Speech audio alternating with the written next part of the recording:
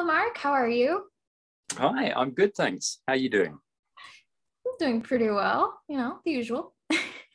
so, as you know, I'm interviewing you a little bit about your work and who you are. Uh, so, I'd like to know a little bit more about your background and what got you started in landscape painting. Sure. Um, well, as you said, I'm uh, by default a landscape painter. Um, uh, can trace it back um, before college. I went to the Slade School of Fine Art in London. Um, graduated in '97. Um, most of my time spent there, the first three years of four, I was an abstract painter, and I found that what I was chasing in the abstract language um, wasn't best served by it. Mm. So I did an uh, almost a stylistic U-turn uh, at the beginning of my final year, and all the people around me said, "What on earth are you doing? You know, you spend the last three years cultivating, uh, you know, a sort of serviceable abstract language." Um, but I wasn't interested in filling a void. Uh, so there was something in uh, representation of myself in relation to the world that became far more important. Hmm. Wow. Oh my gosh. That- it's yeah, it's really interesting how also with with previous artists that I've interviewed, some of them have really touched on the abstract and then somehow they turn into realism and then they they kind of marry them in a way. And I feel like that's kind of what I see in your work, where you have that expressiveness, you know? Yeah, I, I think that I mean, unlike some artists maybe that you're you're interviewing, I didn't come mm-hmm. from the atelier school right. um, route.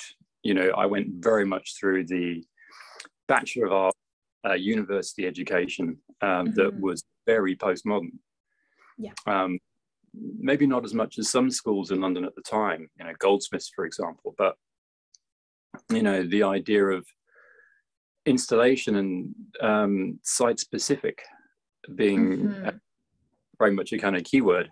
Um, as a painter, you, you, already feel like an anachronism. And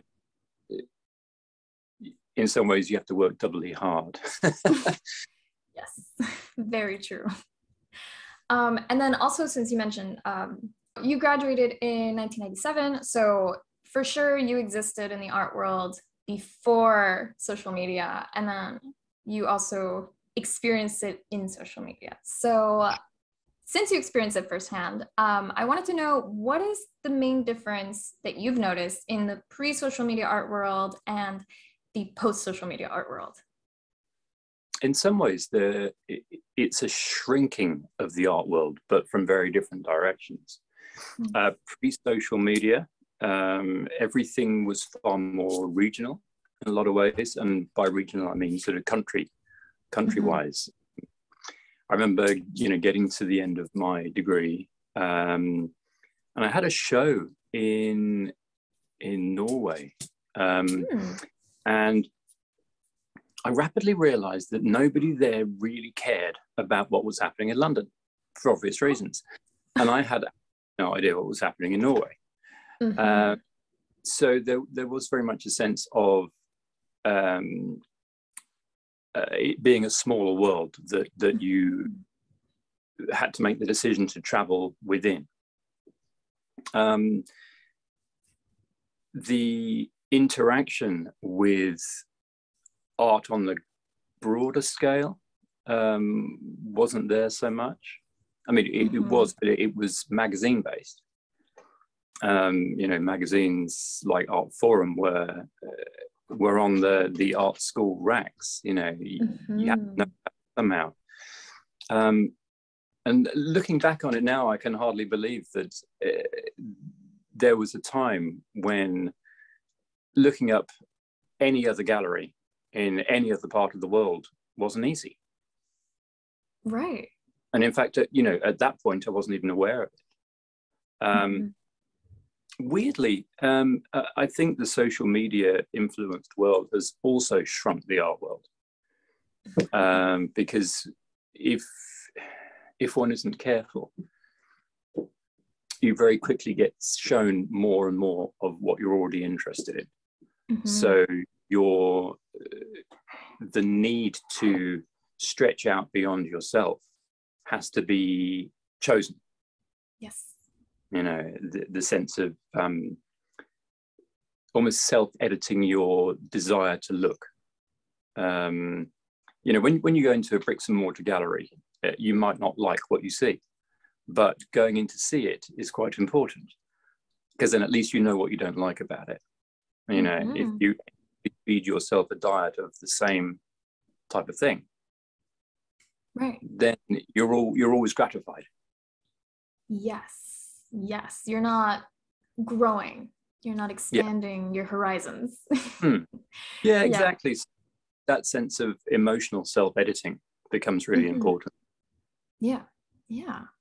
And um, in our last conversation, I remember you mentioning that social media is a double edged sword. And I feel like since you mentioned it um, having that effect of, of shrinking, it could be bad and it could be good. Um, mm-hmm. so I wanted to know, you know, like, since it is a double edged sword for a lot of artists, where like it limits your your worldview, but then it can also expand it. How do you recommend for people to navigate that psychological aspect of growth versus self gratification?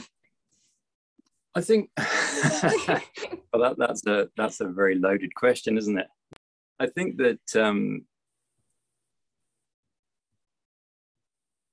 the art world um, it, it isn't just one thing. You know, it, it's there are multiple parts of it that all seem to um, to work in tandem or sometimes against each other. Um, and like I said, you know, it's very easy to streamline oneself into a very particular direction.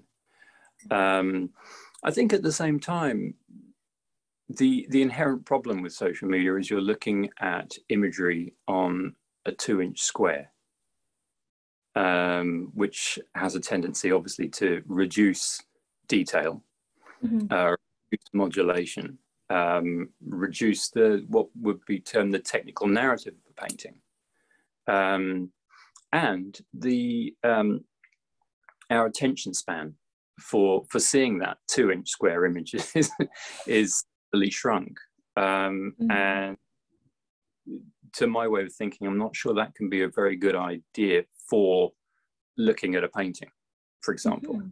Let's face it, we're talking about paintings. Yeah. Um, and I cannot help but wonder whether that two inch square that we become so familiar with and so used to becomes a subconscious role model mm. in the in the, the, the subsequent creation of paintings mm-hmm. you know are we making paintings for instagram right and i think the back of most people's head there is going to be a little bit of that because we're so used to seeing it that way. Mm-hmm. Um, so again, I think that um, one of the things that I have certainly had to engage is this kind of critical facility of surface. Um, you know, I, I can't help but wonder whether we're going to have more square paintings in the future. you know, because the, yeah. the, the, lack of cropping and the, and the ease. You know, we are mm-hmm. we do path of least resistance. Yeah. So I think a little bit of um, rigor um, in selection and connecting to the history of mm-hmm. Of the the practice. You know, if yeah. you engage with art history, um, which is very easy to do, you know, you you lose the image, or rather, you lose the object and you retain the image. Mm-hmm. And um, social media has a, a, has a role to play in that. Yeah. Um, I think also the, one of the, the, the problems is the speed of things. You know, mm. the more we rattle through images, you know, this the, the kind of endless scrolling, um, the the less time we devote to any individual image. Do we then carry that forward into our own work? Mm. interesting. You know, yeah. and I think almost it's like stepping back, taking a little bit of time. I mean, paintings take time. You know, this mammoth behind me took you know six weeks, um, and that's almost the way it needs to be at times um, in order to engage with the practice. You know, the right. the craft of making. Mm-hmm.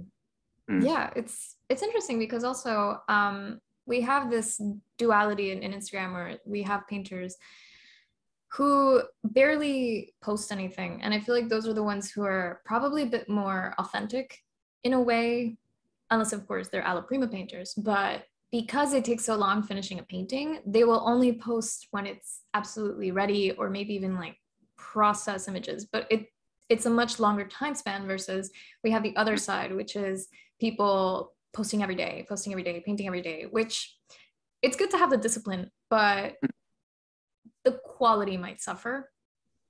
Well, it's one theme that's doing rounds at the moment where it's um, the top picture is Leonardo da Vinci holding up the mm-hmm. Mona Lisa saying, Amazing. I've spent the last 15 years on this painting. It's finally finished and the bottom picture is um, somebody chewing their nails at a, a, computer screen saying my god i haven't posted three days in three days people must think i'm dead um, you know i think there, there's the the extreme version but there's mm-hmm. the parallel.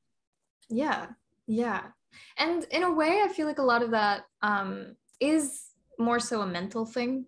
Um, we're all so anxious all the time thinking that everyone's watching us when in reality they're, they're probably not. Um, so it's just best to focus on on what we do best which is painting and creating. Yeah.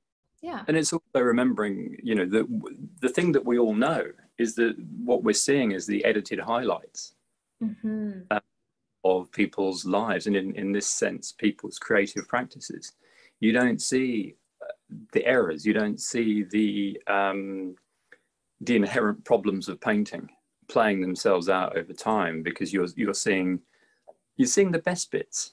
Um, I think one of the things that keeps me a little more sane at times um, is sharing process and sharing process when it isn't necessarily looking so good. Mm-hmm. Um, because that's how the paintings look for 95% of the time. right. They, it can't always be good. Mm-hmm. You know, I don't know which artist it was who said that um, you're supposed if you leave a painting unfinished, it's still supposed to look good, or it's supposed to look good all the way along the way. Mm-hmm. Uh, I've heard that. I, I think it was Whistler. I could be wrong, but you know that that isn't necessarily a practical um, reflection of mm-hmm most people's practice, but I mean, particularly mine, which is so focused on a kind of creative destruction along the way, mm.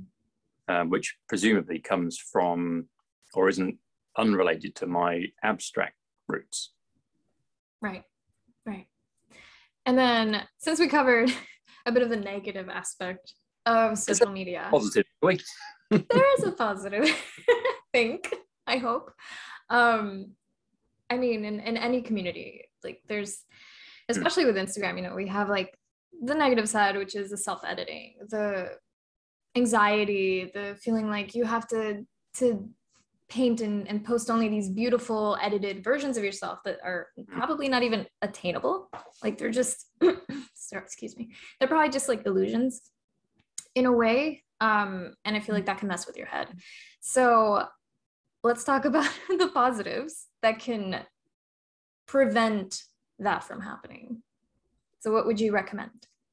Well, I think the obvious thing, the obvious positive is is the the connectivity, um, regardless of the kind of atomized um, nature of um, the digital digitization of painting. Um, I can't think of a way that I would have ever come across certain artists' work. Um, you know, without traveling to another country and accidentally coming into contact with it. Um, uh, an artist like Nicola Samori, for example, I think we spoke mm-hmm. about last time. He um, he's an artist I would never have seen Um, and he has an incredibly underactive um, social media presence. I'd love to be able to see more of the work, but I can see it. Um, so that that's you know that that has an effect. You know, it, it means that the the influences that I can subconsciously or maybe consciously draw on are, have expanded, mm-hmm. and that wouldn't happen without social media. Right. Um, and I can't think of a better positive than that. Yeah, it's true. And then aside from that, the the opportunity aspect of social media, which is mm. you're so connected that people, other people who might never have seen your work, come across it and they're like, this is exactly what I've been looking for, or oh my God, mm. I can't believe I've never seen this. This is amazing. Um, and I'm guessing this has happened to you with with your stuff. Um, so what opportunities have you come across thanks to social media? Well, it, it's it's been it has been very interesting, and it's been uh, progressively more interesting as mm-hmm. as the as the years pass. Um, one thing that that happened very recently is um, when I finished college. Um, I, I, you know, had some gallery interest. I came out of a college in London, and that's where all the galleries are. So, you know, mm-hmm. there's kind of meshing of the two. And I came into contact with somebody um, after college, but I think, like a lot of people, it took me about a year to figure out how to paint again after, after school. Um, you know, once I'd take, taken the training wheels. And so I wasn't really in the best of places to, to, to forge that kind of ongoing relationship mm-hmm. uh, until last month. 24 years later, Oh my gosh. Uh, this this particular person who, who who owns a gallery in the UK um, had been on my mailing list for all that time, and finally reached out and said, "Look, I, I really like what you're doing. You know, with the with the, the new Newfoundland paintings. Um, let's let's try and do something together finally." Um, the long and the short of it is that if the London Art Fair is going ahead, what with um, you know the new COVID strain, um, mm. GBS Fine Art in the UK will will take three of my paintings to London Art Fair with uh, onwards representation from there.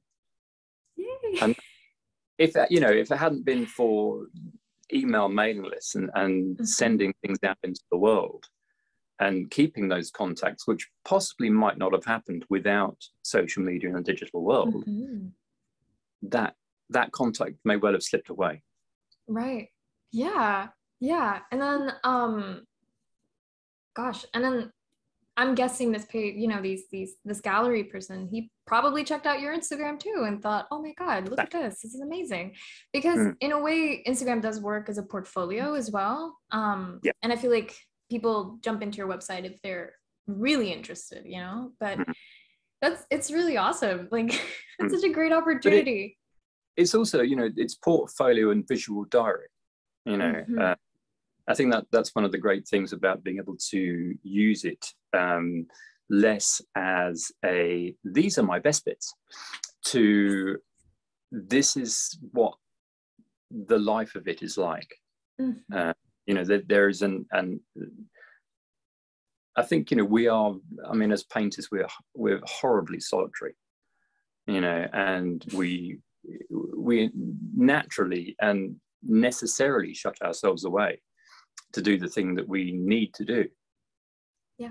Um, and having a tool through which to connect with you know a larger community of both artists and non-artists and say look this is this is what it's like. This is what I'm trying to enlighten myself with. Mm-hmm. Uh, has a kind of comfort. Yeah. You know, yeah. I, I, comfort might be the wrong word, but it's certainly a, a camaraderie. Mm-hmm.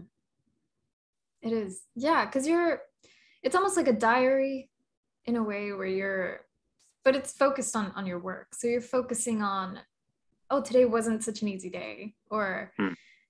this is the product of hours of self-reflection and understanding myself and understanding what I'm doing. So I'm it does make it yeah. it's a very vulnerable thing and it, it can be very hmm. vulnerable. And I think that's also why people self-edit so much. It's almost like they're trying to like protect themselves from from being so exposed. When in Which reality, is, yeah, continue. Analogy to um, somebody filtering their selfie.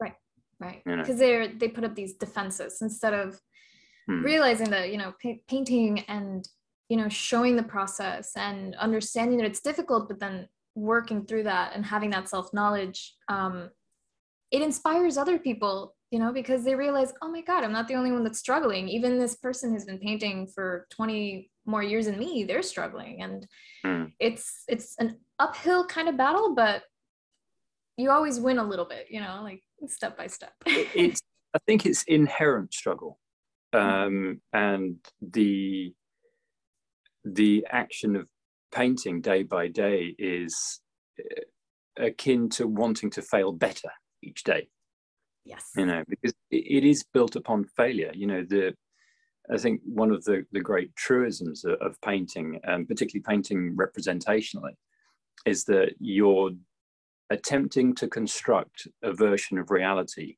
from a series of absolute abstractions. Mm-hmm. Um, you know we're we're moving paint around and attempting to make it into a world. Yep. uh, and but i think as picasso said you know paintings are lies through which the truth is revealed um, and i think there's a bit of that in in everything we do mm-hmm. no matter how you attempt to cover it up yeah uh, yeah yeah and and it is true you do um i think i've heard I don't know who said the phrase, but you fail up.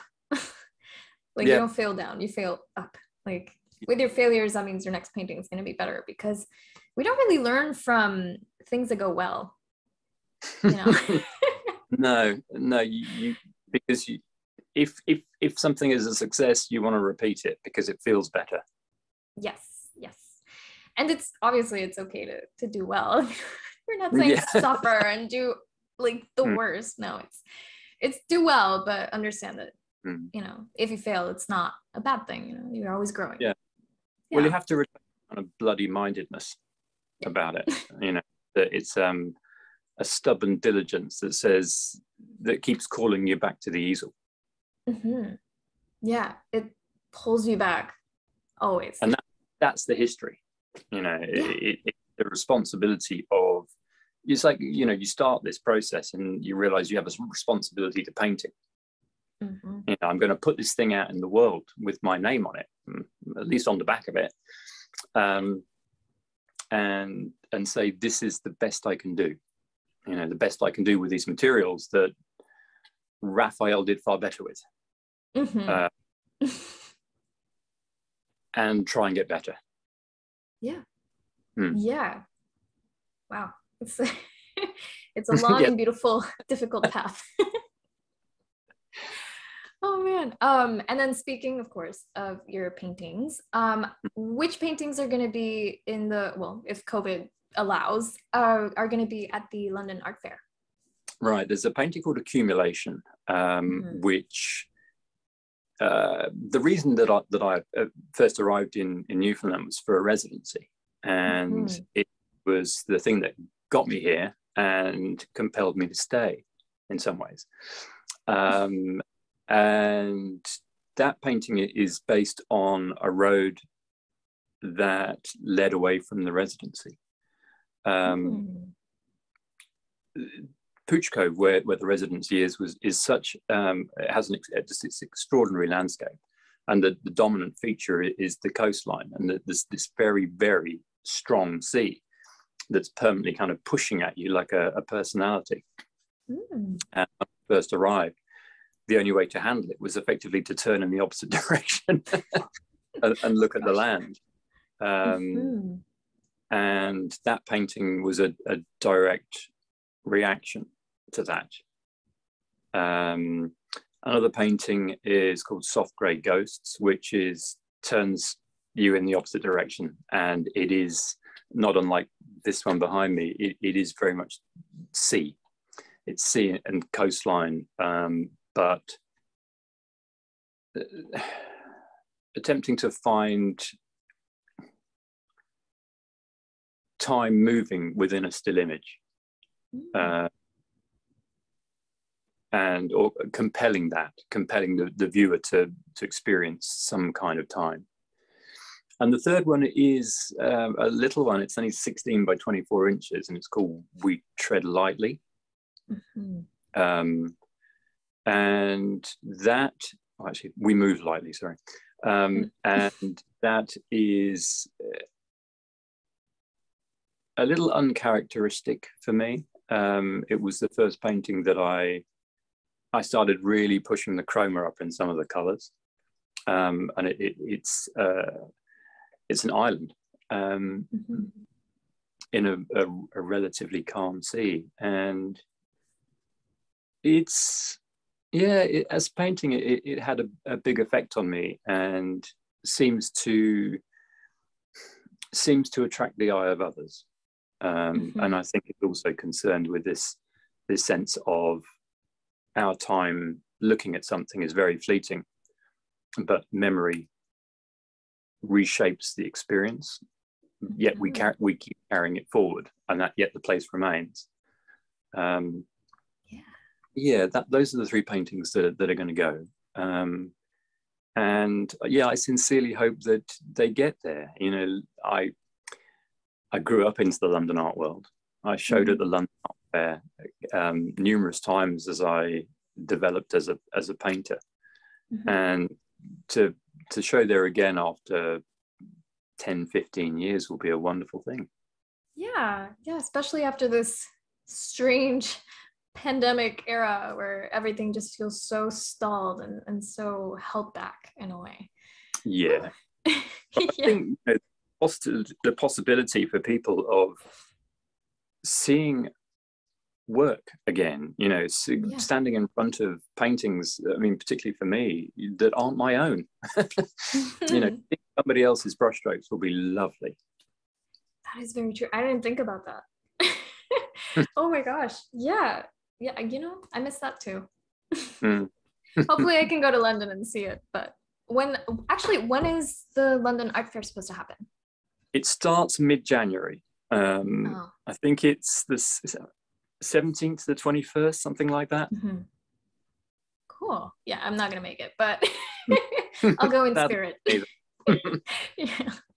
Um, but yeah, no, that's it's beautiful how like you mentioned how that third piece is is very different from the others, and and you're experimenting even still after so much mm. time of, of painting and, and working with these landscapes you know? Do you feel like maybe the place that you're in now influenced that shift or is it like where think, did the experimentation come from?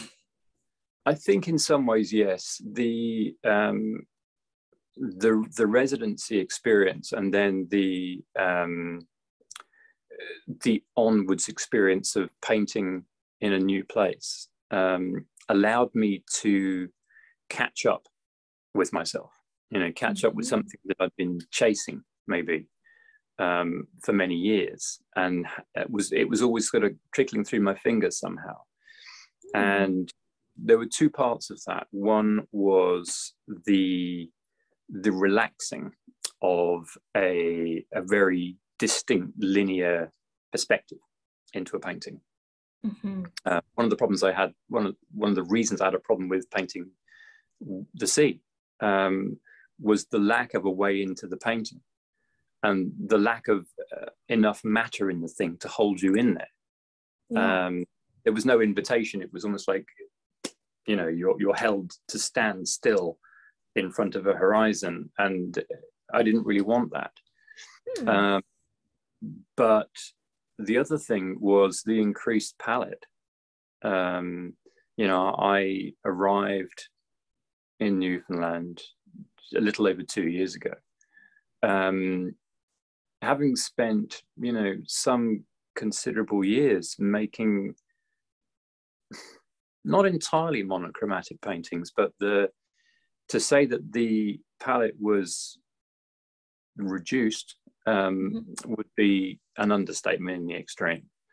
Um, now that I have, you know, my, my working table has an, an array that's almost unhealthy, you know.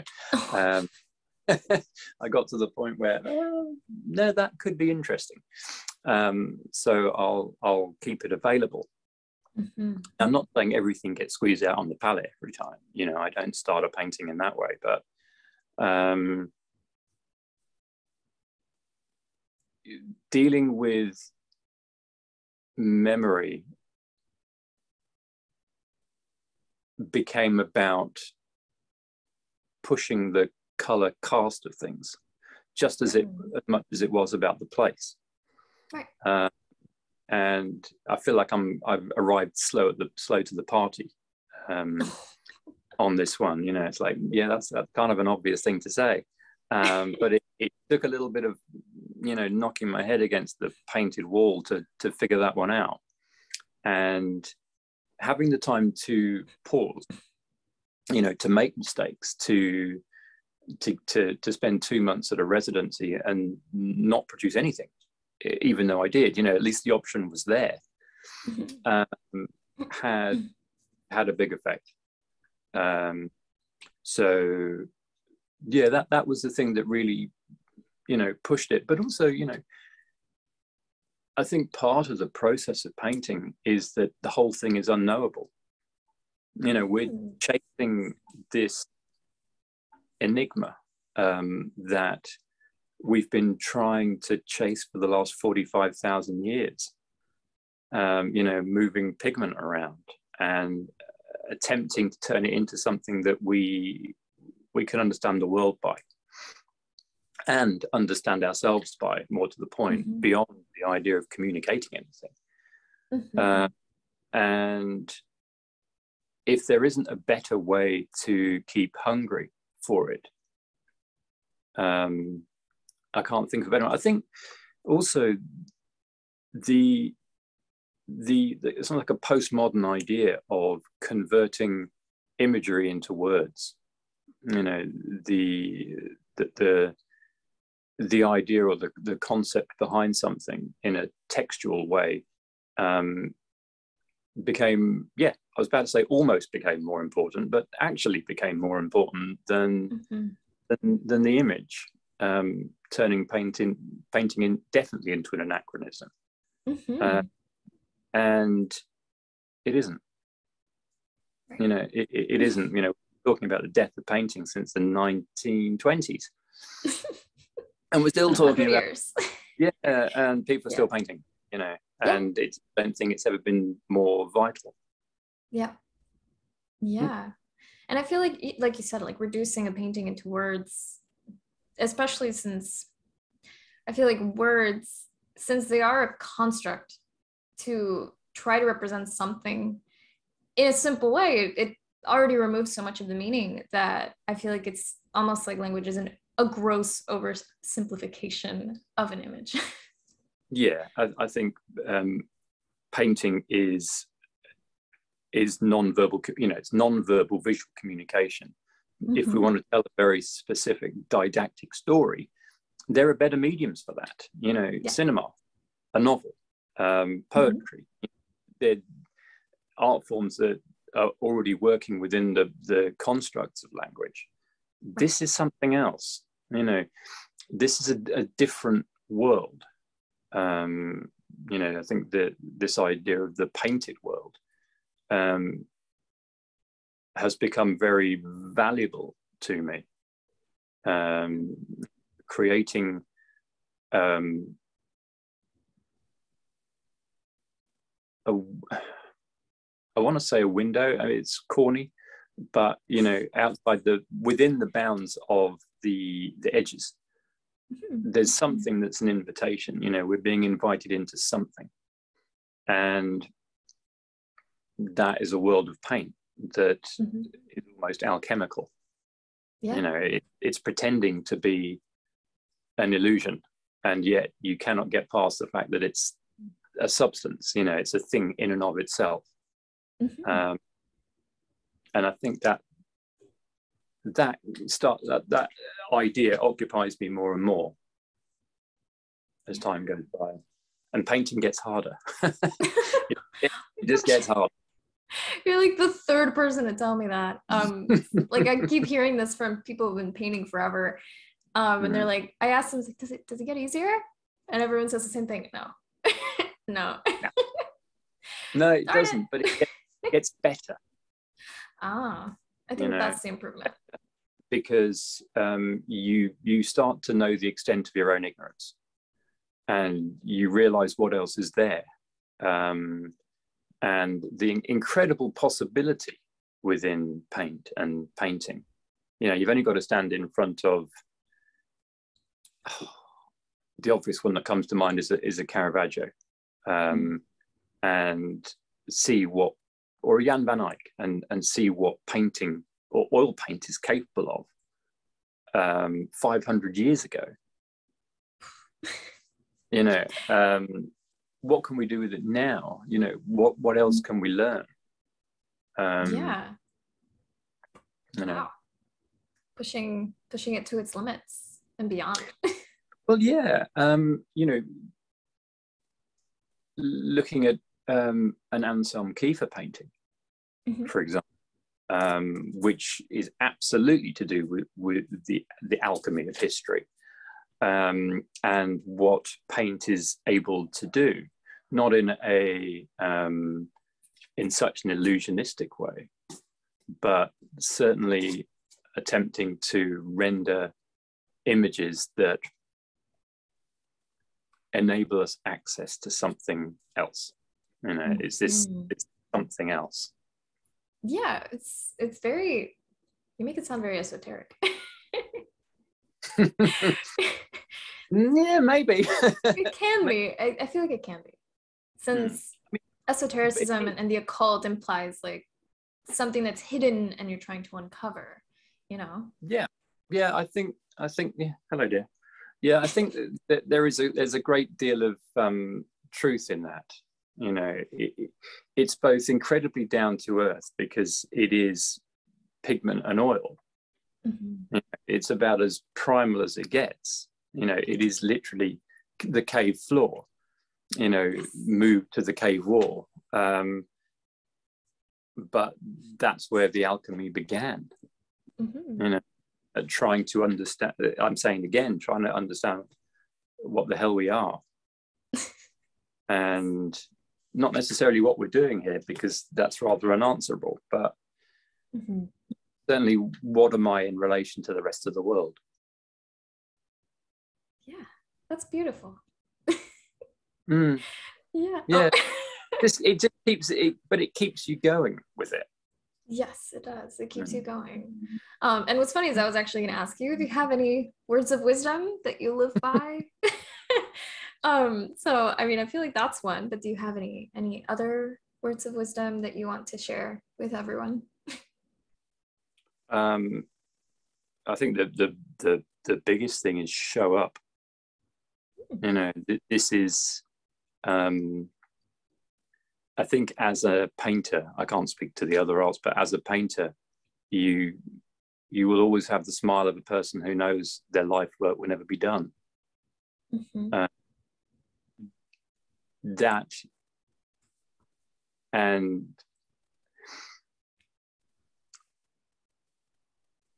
it's a healthy obsession. Yes. Uh, it, it, it, not necessarily always but it, it's something that fashions in art come and go you know if you're trying to paint for an audience or a perceived audience by the time you finish the painting, you're always going, you're already going to be behind them. Yeah. Playing catch up. So you have to, I'm mixing this all a little around, but um, don't make a compromise with commerce. You know, um, it's not about a short term um, success, it's about a long term journey mm-hmm. through painting. Um, so yeah, it's almost like if, if you if you sort of re-engineer your idea of what success is, you know, mm-hmm. um, Frank Auerbach said painting isn't a game of success, and I think there's a great deal of, of truth in that. Um, the success is eh, that you're able to keep doing it, and I think mm-hmm. bring that at the core of things rather than getting swept up in the next gallery, the next book, the next exhibition, or whatever it might be.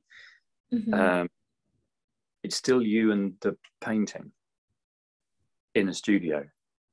And that's where the success lies. Yes. Very well said. Mm, thank you. You're welcome. Well, uh, this was a really wonderful chat. Um, I learned a lot. I hope everyone also learned a lot too. So thank, thank you, you, so much, Mark. This was great. Thanks, um, hopefully, oh, of course. Yeah, of course. And then hopefully in the future, um, maybe we can have you on the podcast and we can have like a much longer philosophical conversation about. I, I do get feeling this is the beginning. yes, this is. I feel like this is just like a little taste of what we might talk about. so thank you so much. Um, and then everyone, if you want to check out Mark's work, please go to his Instagram, his website, and then stay tuned because maybe the pandemic will, you know, not be so bad. And the London Art Fair will happen. So go check out his pieces at the London Art Fair. That'd be good.